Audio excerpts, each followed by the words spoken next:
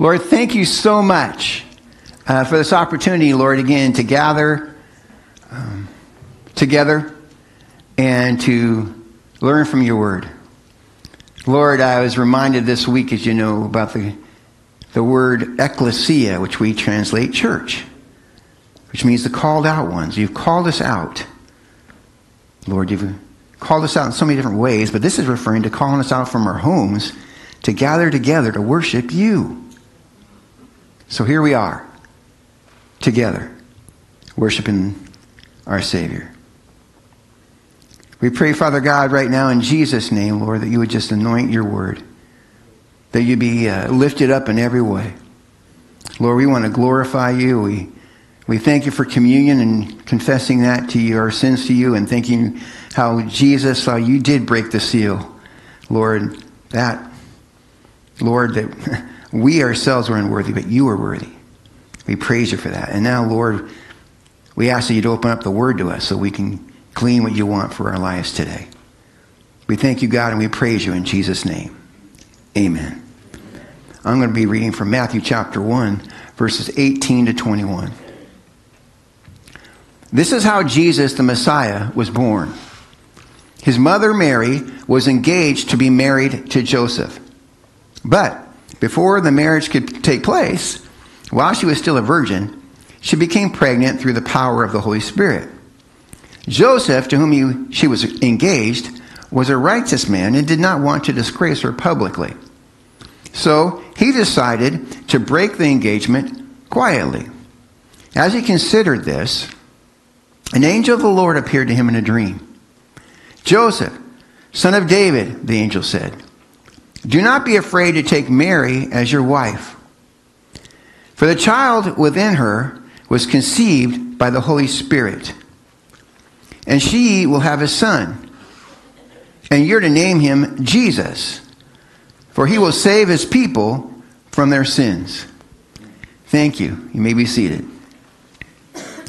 Uh, today's message is called The Grinch Who Steals Our Joy Through People Letting Us Down. Last uh, week we began a series, a new Christmas message series called The Grinch Who Steals Our Joy and How to Take It Back. Um, we've discussed that there, last week, that there actually is a real, true Grinch. Interestingly enough, of course, it's a mythical character from our society's perspective, but the Bible teaches us that there really is a true Grinch, isn't there?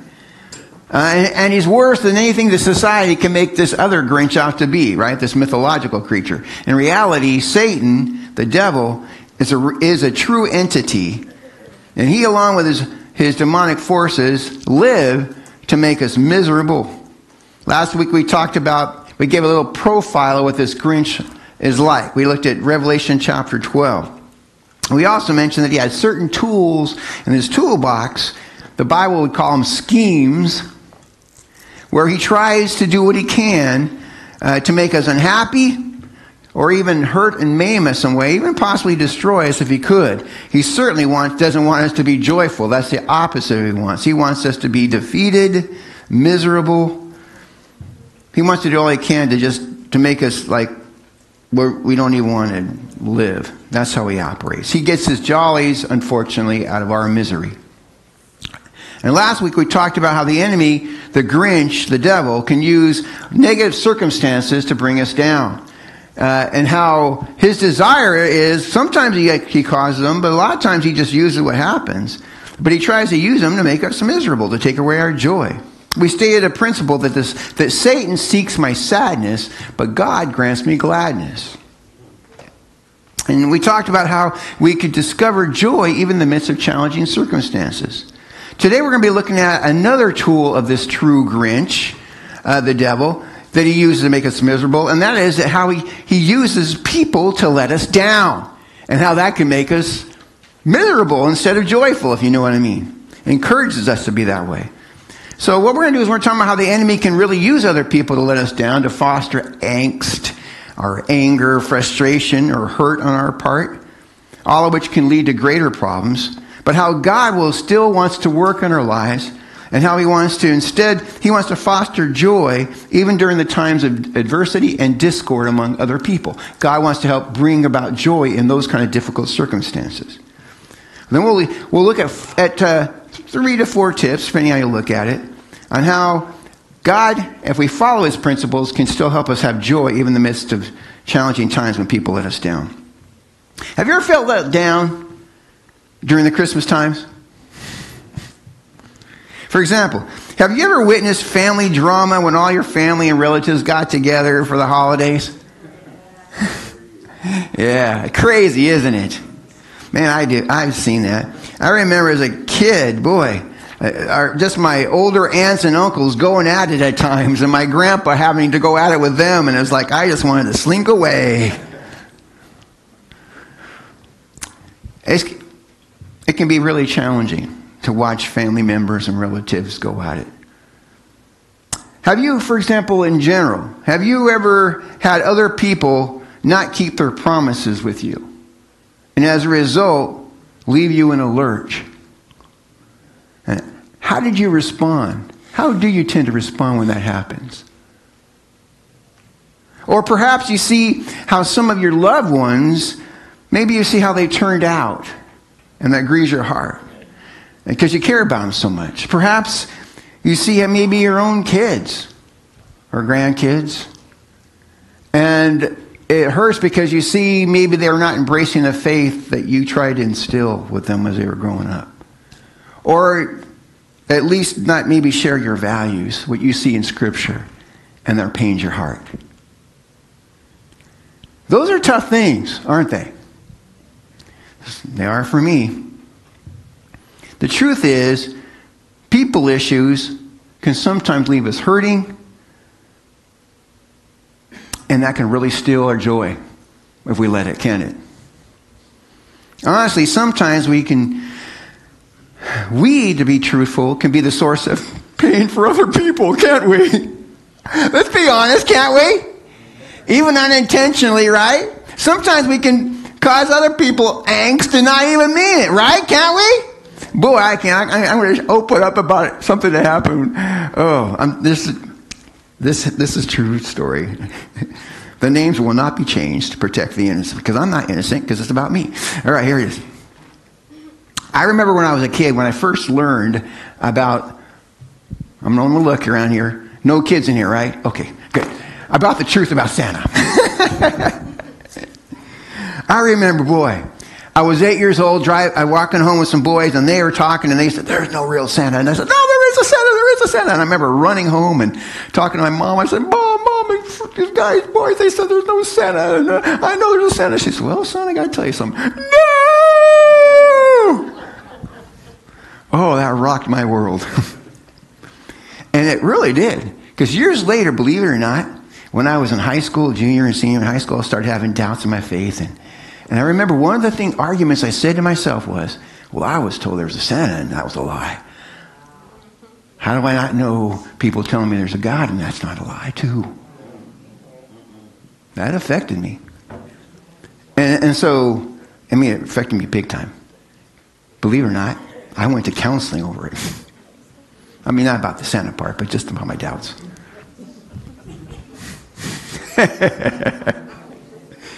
But I was so determined when I when Sherry and I had kids that we were not I was not going to let them have a to lose their faith in God because of a misunderstanding about this figure called Santa Claus.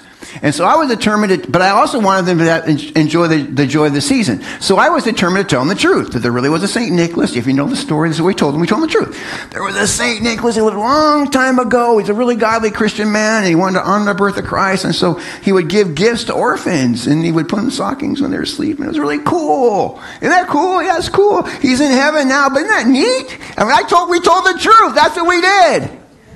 And, it seemed like, yes. And they were still excited about Christmas. It was all good. I thought we did well until one day, uh, um, our neighbor came up to us after uh, one afternoon late. She had taken our son. It was late fall to her to take her and her son. Her son was a couple years older than our son. He was like our son was like four or five at the time, so her son was six or seven. And I remember she came home because she was taking him to the tide pools, and. Uh, and, and, then she said, ah, I need to tell you something. We said, what? She said, well, uh, we were driving along, you know, and my son saw this big billboard sign of, of Santa Claus, and he said he was really excited about Christmas coming and seeing, having Santa come, and, and your son said, Santa's dead. no! Now, we never use that language, understand? We just said he's in heaven, but he was not stupid. He put it together. Oh, we wanted to sleep in the house that time too. Sorry. What we intended to have to maintain the faith in the Lord and our son ended up causing some really unbelief towards Santa and their son, and they weren't happy about it. Anyway, so we sometimes we can cause unintentionally cause pain in other people, can't we? People challenges can leave us feeling pretty hurt at times. And sometimes, if we're not careful, they can rock our world. Or at least they can add fuel to the fire in an already horrendous situation. And the enemy, the Grinch, and that's who's behind a lot of our stuff. Remember, there's a true Grinch. He likes to use situations like these to cause us misery. All I can do is I can just think about Job. And the, and the Bible describes the enemy, the true Grinch, in that story. If you don't know about Job, the devil asked God if he could devastate Job's life because Job was a righteous man and honored God fully. And the devil says, yeah, that's just because you, you bless him so much. Ah, you, you let me get a hold of him and I'll rock his world and he'll curse you to your, his, your face, you know, this kind of stuff. And God says, I don't know. He's going to be faithful. No, I know. It's okay. You can do what you want. Just don't hurt him, his body or anything. So the devil went at it. I mean, he killed Job's kids. He used natural sources, like natural disasters. That was a windstorm. He, uh, he used people, marauders to take away all of Job's possessions and his material wealth, because he was the richest person in the East at that point. He was like, one day it was like richest, and then it was like the poorest. Just like that. And no kids. Really bad. And then Job still, like God knew he would, was remain faithful to God. So Job says, okay, let me out of his body. I'll hurt him and, and, and then he'll curse you. And God said, no, he won't. Yeah, he will. Okay, just don't kill him.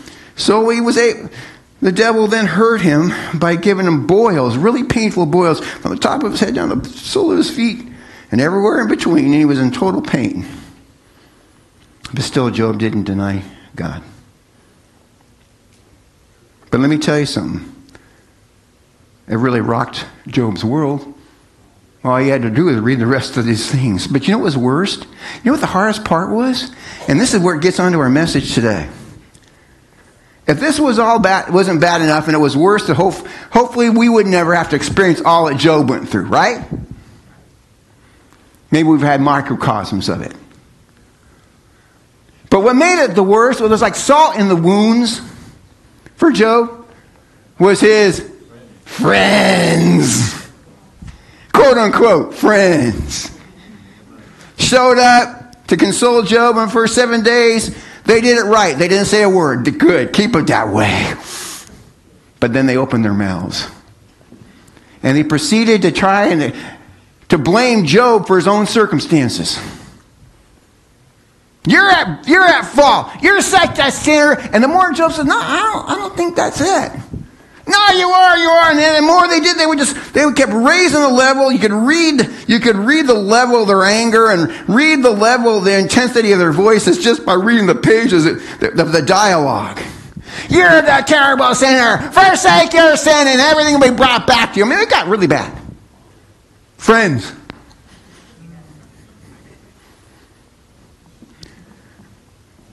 Called kicking you when you're down. Amen?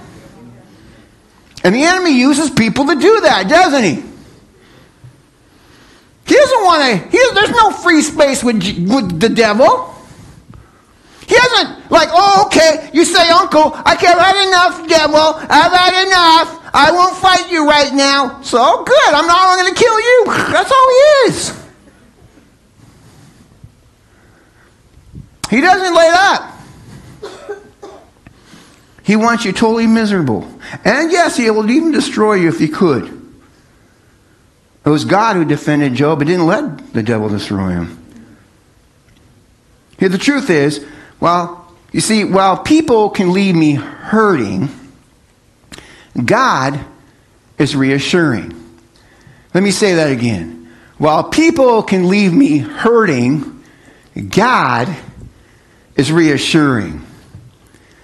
Okay, can y'all say that loud? We got it seems too quiet in here. All right, here we go. Count of three. Let's say it together. Count of three together. One, two, three. While people can leave me hurting, God is reassuring. This, I think this principle is found very clearly in the Christmas story, but through the example of Joseph, Joseph, the adopted dad of Jesus. If you know the story, of course, the Bible talks about it. We read a good Passover here today in Matthew chapter 1. We mentioned last week that Gabriel, uh, the angel, appeared to Mary and told her that she's going to, even though she's a virgin, she's going to give birth to a son, which is prophesied in the Old Testament, in Isaiah chapter 7, verse 14. Mary was the prophesied one to give, as the virgin, to give birth to the Messiah, the Son of God. And so he'll be a name, it's going to be Emmanuel, all that stuff. God's with us, it's awesome. But see, at that point, she knew it, but Joseph didn't. She herself endured a lot. We talked about that through this in preg- her pregnancy in an age where in culture that frowned big time on sex before marriage, which is wrong and so good, but they like would stone or at least divorce you publicly and disgrace you.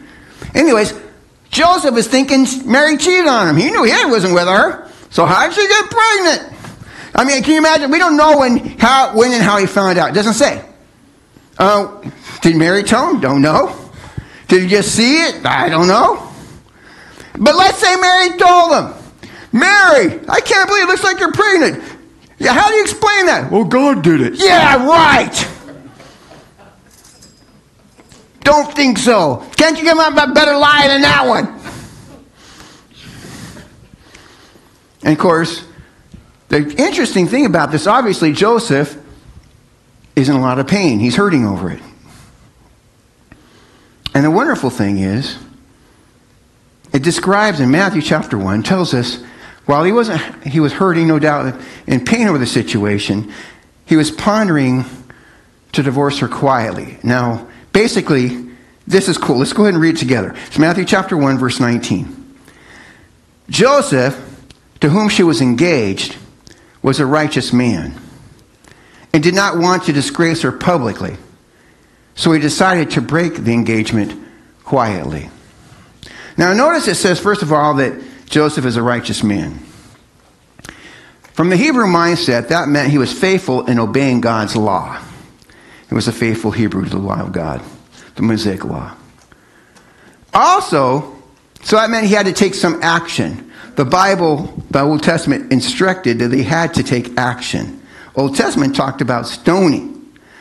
Uh, by this time, at least you had a divorce. And usually when they divorced, it was a public thing. It was disgrace. It was ostracism from society. It was not a good thing. Now here's the deal. He had to, he had to obey God's law. He had to take action. But he also still, even though he was hurting, he wasn't wanting to return the favor to Mary. And that's what's really deep to me. He was thinking she cheated on him, and, and, the, and the law mandated, mandated for him to act.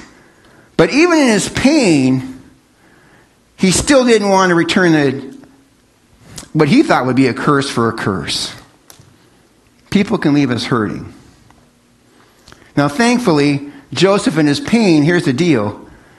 He, it, it was due to a misunderstanding. But the, the neat thing is, what I want us to get a hold of, and we'll see, hurting people hurt people. And it, I think I heard that phrase for the first time like 30 years ago by Rick Warren, Saddleback Church pastor, now retired. And that, since then, that, that phrase has gone everywhere. I hear it in the world saying that phrase now, but I think it was Rick Warren. They don't know it, but he was the one that coined it. Maybe, well, he gets, from, gets the concept from, obviously, from the Lord. But the whole point here is this that even though he was in pain and he wanted to lash back, and that's what we tend to want to do, he didn't. He, he honored God by trying to do what he could. He had to do, so he was going to do, I'll do a divorce, but I'll do it quietly. He's still trying to return a blessing for what he perceived to be a curse. That shows you what an awesome man he was. You can see why God would want that man to raise his son. Amen? Because he both wanted to be obedient to law and he had compassion. And again, thankfully, his, his pain, though, was due to a misunderstanding of the situa- situation. Mary was still a virgin. He didn't think she was, but he was. And the baby was miraculously conceived through the Holy Spirit. God made a point of reassuring Joseph by sending an angel to him to explain the truth. You see, the enemy wanted him so caught up in his pain, and that's what the enemy does. He starts nailing our brains. Can you believe they said that? Can you believe they did that? How unthoughtful, how unkind, how mean, how whatever. What are you going to do back? Well, right? Joseph acted in a godly fashion. And so he was trying to figure out what to do. He's pondering over this. And then God intervened to reassure Joseph in the situation. He, he reassured, he gave him an, an appearance of an angel in a dream, that everything, telling him everything was good, that this was actually God's plan. The fact is, the boy was conceived through the Holy Spirit. Mary had not been with another man. God had caused her to, to get pregnant. So this is going to be the Son of God. He thought, Joseph thought he was being dishonored by his betrothed wife. In reality, the truth is, he was being honored by the God Almighty. Amen. Wow, isn't that powerful? Yes, amen. But isn't it interesting how our misunderstandings can get in there and we can misunderstand what might be a blessing, we might think it's a curse. Amen? amen. Isn't that something? But God knew that Joseph's heart. And so he reassured him. He sent him an angel. Now, Joseph's problem was a, actually was a misunderstanding, and a lot of people's problems can be due to misunderstandings, can't they? A lot of people's mis- problems are due to their misunderstandings in life. We can make mistakes toward other people while not even trying to hurt others. I talked about that, what happened with us with our sons, you know, faith. Other people can do the same with us. Unintentional problems can sometimes arise with others when we, problems can happen we just due to misunderstanding. And when unintended problems develop, the Bible is clear about what we should do. Jesus told us what we should do. When we, we should quickly try to resolve the issue by discovering what the real problem is and, and clarifying and correcting the situation. Look with me at Matthew chapter 5, verses 23 and 24. This is what Jesus said to do. So, if you're presenting a sacrifice at the altar in the temple, and you suddenly remember that someone has something against you, leave your sacrifice there at the altar. Go and be reconciled to that person. Then come and offer your sacrifice to God. Now, the emphasis here is when you remember or become aware of a problem that other people might have, someone has with you. He, what is Jesus saying? He's saying deal with it immediately. Don't put it off. When there's a problem between you and somebody else, deal with it immediately. Because the longer you wait, the more it builds up in people's brains. And that misunderstanding can even grow, can't it? Or it can, it can in our own minds. Deal with it immediately. Don't let time elapse at all. Put other things to the side. In this case, it was even an offering to God. Put that to the side and deal with the problem with this other person. I mean, that's deal, deep stuff Jesus is saying here. It's that important. Nothing else is as important as making, is making the thing right. That's what Jesus is saying. I mean, that's interesting, isn't it?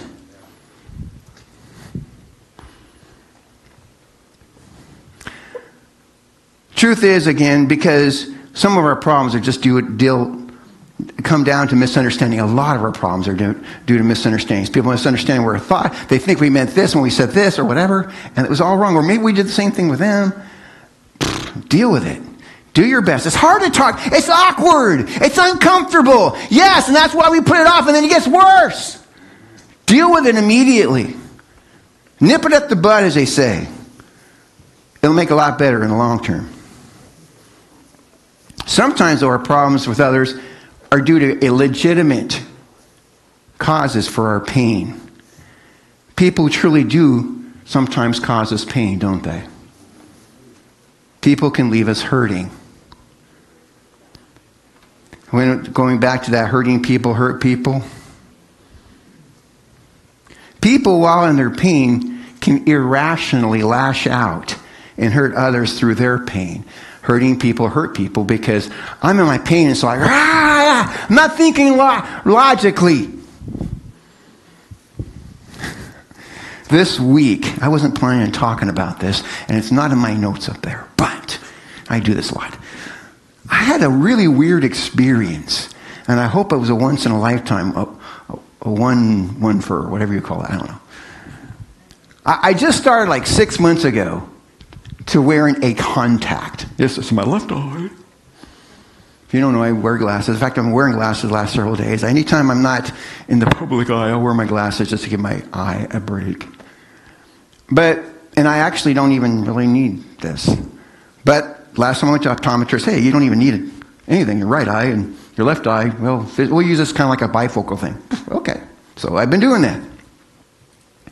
And what's going on is, it was okay. I'm kind of a dry eye a little bit. But one night, earlier this week, Monday or Tuesday, I, I couldn't get my contact out. I didn't know, is it in? Is it out? That's a scary thought. Now, you, if you wear contacts, you know what I'm talking about. You're used to this, it's not a big deal. But I'm not, and I'm still kind of freaking about it. And what made it worse is I kind of touch my eye, oh, it hurts, but it's like I haven't seen it get out. And, well, you know what? Finally, I mean, I it took over an hour. And my wife started getting there. She starts doing this flashlight thing. I was like, okay, remember, I have an eyeball and I'm kind of sensitive about it. So, I, you know, that kind of deal. And, and, so, but she was, you know, I'm trying to pull this thing up. She found it eventually. You know what? It had folded up and had gotten way in the deep socket on the upper, underneath my eyelid, way up in there. Okay. Is that good news or bad news? I didn't take it goodly. no! You know, okay, a little bit. Maybe that's a little bit extreme, but not too much. Right. Eventually, he got it out. Thank the Lord. And I didn't wear contacts for a couple days after that. You know, it's easy to let things get to us. And how we, when we get into situations that are abnormal for us or painful, we can act irrational. And so um, it's important then, obviously, Joseph in this case did not. And what the enemy does is he wants to get us in these painful situations and he wants us to lash out irrationally. He wants us to act wrongly, react rather than respond to the situation and cause greater pain with other people. That's what he does because he uses our pain to cause pain. He's a terrible being. And the Bible talks about how we can deal with this Grinch when he attacks us, maybe through the pain of other people. When they're in pain and we don't know their pain, but they're just causing us pain, and all we know is, ah, what's up with that? And we want to lash back, and we, a lot of pain, we're lashing back at each other, and that's not, obviously not the right thing to do. Paul, through God, through the Holy Spirit, through Paul, through Paul, told us that what we should do and when when people attack us, essentially, what we, how we should fight back. It's found in 2 Corinthians chapter 10, verses 3 to 5. It's saying we're actually in a spiritual war. Remember that there's actually an enemy behind it, where there's a true Grinch. It says this, For though we live in the world, we do not wage war as the world does. The weapons we fight with are not the weapons of the world. On the contrary, they have divine power to demolish strongholds. We demolish arguments and every pretension that sets itself up against the knowledge of God. And we take captive every thought to make it obedient to Christ. Now, a couple quick thoughts here. First of all, Paul's talking about spiritual warfare, fighting demonic strongholds that are based on false human reasonings and arguments. Um, what happens a lot of times is we hear the bad thoughts. We see it. We hear the wrong thoughts from people. You know, we hear that in our society. We're hearing terrible things in our society now, aren't we? Terrible things that they're trying to push off as good, that it's just evil, right? And we've talked about this.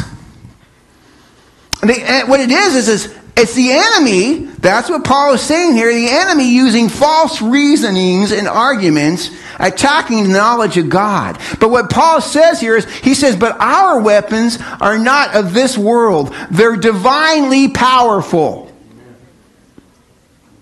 And so, what are we supposed to do? What are we supposed to do? One, we, we identify the true source behind it, whether it's a, something he caused or whether he's just using it. Either way, the enemy, the true Grinch, is trying to cause, trying to use these things falsely. Hey, do not think. Oh, there's so many examples of this. Do not think when you hear people, it seems like so crazy. How can you believe this? Uh, you know, for example, uh, watching this on the street interview uh, a few months back when it just came out about the Roe v. Wade thing, and, and this one guy interviewing this young woman and saying, So, if the baby's about to be born, is it okay to kill it? My body, my choice was his response. Well, what about when the baby's coming out? My body, my choice. What about after the baby comes out? My body, my choice. What about when the baby's two years old? My body, my choice. What about when the, the child's now nine years old? My body, my choice. Over and over and over and over again. Blind. False human reasonings. Amen? That's not your body. First of all, it's never your body. Amen? That's another child in your womb, whether you want acknowledge it or not. Amen? And that's obvious another person when they come out. Amen? But when you're so duped, that's, the, that's what the enemy is. There's no way they could be that blind without the influence of the enemy. And so we need to address it. We attack the enemy who uses this stuff, the devil. We use spiritual warfare prayer. In the, name, in the name of Jesus, I come against it. To break, and you break down the strongholds, and then you try, by the word of God in truth, to show the truth of it by trusting in Him, God, to work through you. So that's what the enemy does. But we need to respond way. Now, also, we need to remember that when, when people, they can leave us hurting, are not, God is reassuring. God wants to reassure us, reassure us in our pain. He did that with Joseph, right? He cared so much about Joseph was doing it right. He was even going to try to be a blessing to Mary who he thought was being a curse to him. And so, and, and so God was so moved by Joseph, not to mention, of course, it's his own son involved here, Jesus. But God sent his son, I mean, sent an angel to uh, reassure Joseph. Now, it's important that when we encounter hard times that we don't lash back out in retribution, that we still show forgiveness and patience toward other people. Look with me at 1 Peter chapter 3, verses 9 to 11. Don't repay, don't repay evil for evil. Don't retaliate when insults, with insults when people insult you. Instead, pay them back with a blessing. This is Joseph here, isn't it? I mean, not the divorce is a blessing, but he was trying to do it in the nicest way. That's what God's called you to do, and He will grant you His blessing. For the scriptures say, if you want to enjoy life and see many happy days, keep your tongue from speaking evil and your lips from telling lies. Turn away from evil and do good. Notice it says not to retaliate evil for evil, but to return a blessing instead. And when we do that, God's going to grant us a blessing. That's a promise. We need to claim it. Well, this, that's great, but how do we do that? How do we properly act in a situation when we're hurting so much? We might know that I'm supposed to forgive, okay, and I should return a blessing for a cursing, but everything inside me says something the opposite. How do I deal with that? How do we experience God's reassurance and joy when we're hurting and handle it right? Well, these are important, legitimate questions, and I think the answer can be found through how Joseph responded to the situation. So let's look at that. How do I find reassurance and joy in my hurt? Let's look at Joseph. First, what we should do when I, if I want to find reassurance and joy in my pain, other people said something wrong to me. Okay, there's some things we can say from this. First of all, choose to be better, not bitter. Choose to get better, not bitter. I did not coin this phrase, but I love this phrase. Choose to be better, not bitter. You see, we're tempted to get bitter. Amen? Every time someone says something wrong to us, we want to get bitter over it. We want to get resentful. We want to even do something wrong toward them back. Right? We want to cause pain. They caused me pain. I want to go back. Fight. You know, when you encounter hard times, it's fight or flight. We either want to fight or we want to flight. Either way, it's not good. We want to get bitter. But yet, Joseph was a godly man and he chose to get better. Look at me in Matthew 119. Joseph did not want to disgrace her publicly even though he thought she was doing that to him. So he decided to break the engagement quietly. I mean, that's cool stuff. Amen? Even while he was hurting, he elected to choose the high road and seek not to re- do retribution against Mary. Even in his pain, he chose to honor God and get better, not bitter. Now, that's we know it's good to do, but it's not easy to do. It's hard.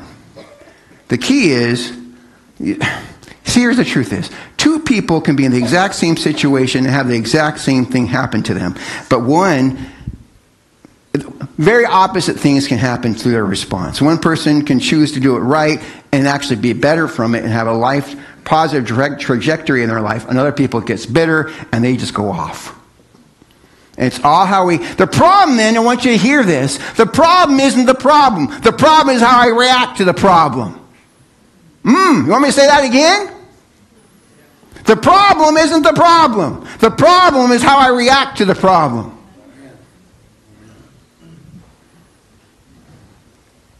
Reminds me of the character Miss Havisham in the, in the book Great Expectations by Charles Dickens. Uh, she was uh, spurned at the wedding altar, and she was determined after that to never go beyond that moment. Her groom to be left her at there, and she made all her clocks stop and stayed that way for years, decades. At the same time, the moment she, he left her, left her at the altar, she still wore the old wedding dress, now tattered. Wore one shoe, I forget why the other one was off. And she was also was bitter to the core because of what was done to her. And she was determined to cause pain in others because she was so, so much pain. And she did that to the main character named Pip. And did the, basically ended up doing the same thing to him that was done to her through her granddaughter. And it was only when she realized, wait a minute, I'm causing the same, I'm becoming the very thing that caused me pain. And that realization was the only thing that changed her. But unfortunately, you see, bitter people can become destructive people. Better people, on the other hand, become affirming, affirming and encouraging people. And God uses them to actually help others in their pain. Do you want to be a better person or a bitter person? You cannot be both.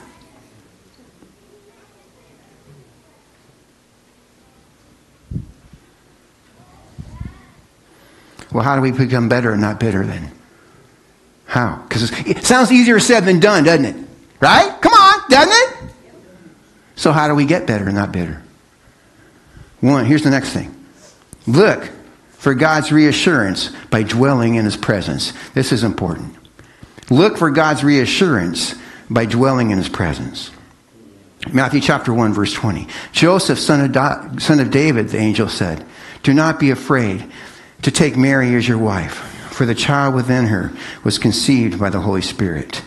This was happening as Joseph was reasoning and praying in his own heart about what he should do. And he was trying to do, trying to be obedient to the law, so he had to deal with it, but also trying to be as kind and as compassionate to Mary, even though she felt he felt like she was hurting him. God sent his angel to reassure Joseph because Joseph had already decided to honor God through his actions and his compassion toward Mary. And because Joseph, by choosing to be better instead of bitter, God motivated him and reassured him by sending an angel. Here's the point go to God before you lash out and do something to other people. And stay there in God's presence until God helps you. Now, of course, here's the deal.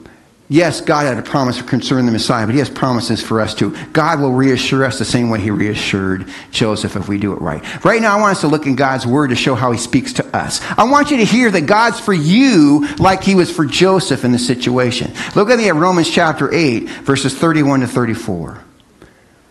What shall we say then about such wonderful things as these? It's talking about God being for us. If God is for us, there it is. Who can ever be against us? The answer is no one.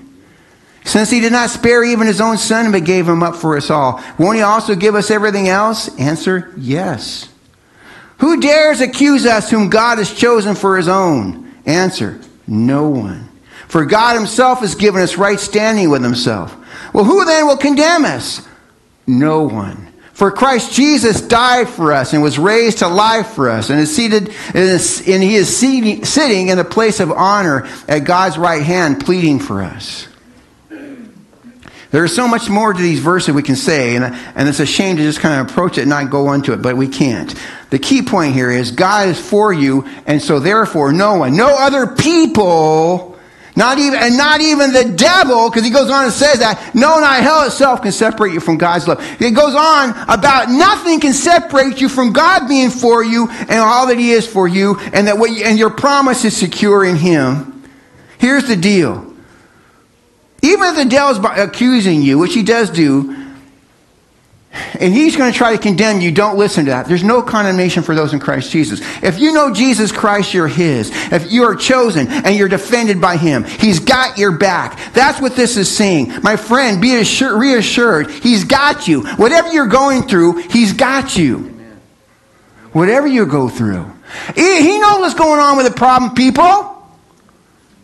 And you feel like, Lord, you're up there. I can't feel you. You're not, you're like intangible. You're out there. But God, and these people are real. And you hear what they're saying? Yes, I do. And I got you. But Lord, it keeps on going on. I got you.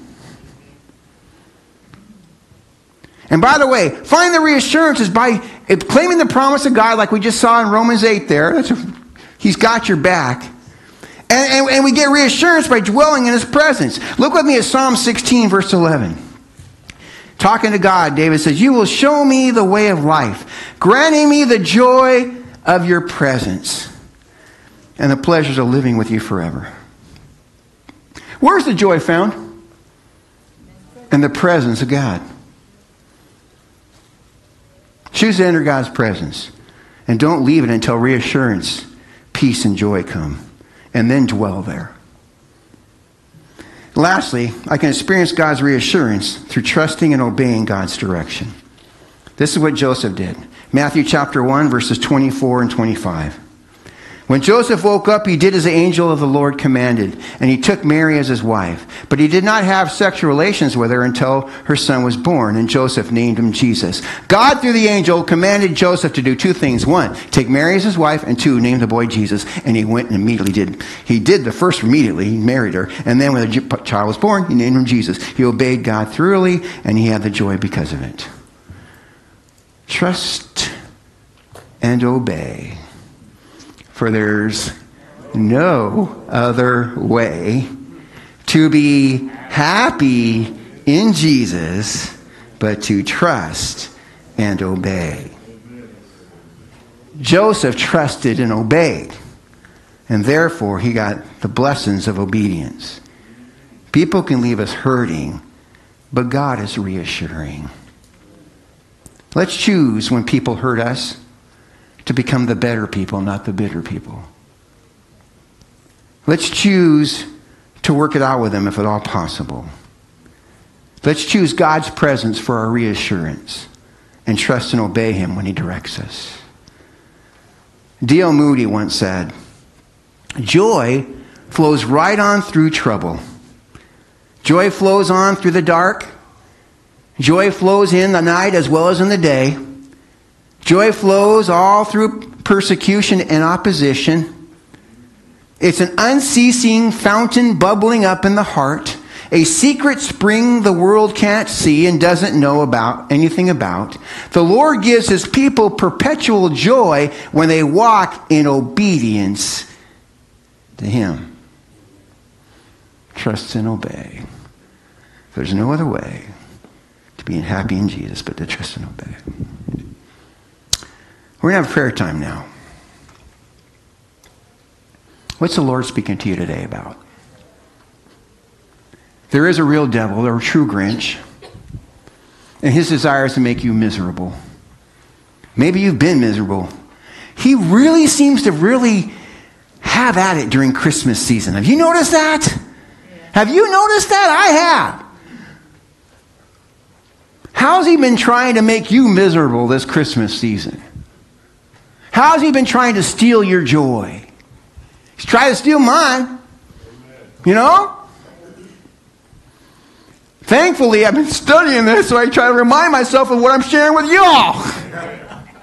Amen? Practice what I, I'm trying, anyways. But it's not always easy, is it? So, what do you need to do to experience joy today? Let me just ask you a few questions and then we'll pray. Someone's hurt you or a situation's hurting you. Or have you been choosing to be better or bitter? If you chose bitter, your joy has been taken from you. But you can take it back. Choose to be better. Repent and choose to be better. Two, maybe someone's been hurting you but you've just been languishing in pain.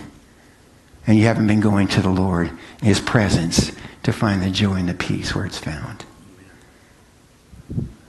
So I encourage you to do that. Three, maybe you know what He wants you to do, you just haven't done it yet. You haven't trusted Him in His promises. And so you haven't claimed the joy and the peace that comes with it. Whatever it is, why don't you seek the Lord and make that commitment to Him right now? Let's pray. Father God, you're such an awesome God. Thank you, Lord. Your word is truth. And it's sometimes difficult. But it's true. And I thank you, Lord, that we're not alone in this thing while people can leave us hurting, Lord, you're reassuring. You're there for us in the battle. We just need to go to you for it. Father, I want to pray for every one of us today. Lord, if they've been feel hurting in the battle, maybe. Lord, maybe that they're experiencing pain in some way. If they've been hurt from others or other things. Lord, it's so hard, especially when we get hurt from people, especially if they're loved ones. That cuts deep. Sure how Joseph felt. But Lord, you're still reassuring in the battle. And you're our healer. And you're our guide. And when we go to you, we find direction. We find that peace. We find the healing. We find the joy that we need. Lord, I pray for every one of us today, God. Whatever we're going through.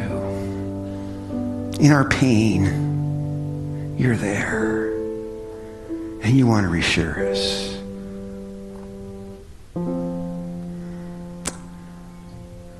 Lord, there's some people right now, I'm just guessing they feel pain right now, but they don't know what to do, how to get your reassurance. I pray, Lord, that they would choose to believe the truth that you're there for them and that they will choose your presence and choose to be better, not bitter. Choose not to return evil for evil, but to return a blessing instead. I pray, Lord, in the name of Jesus, Lord, that you would get, make them that better person and heal them and resolve the situation.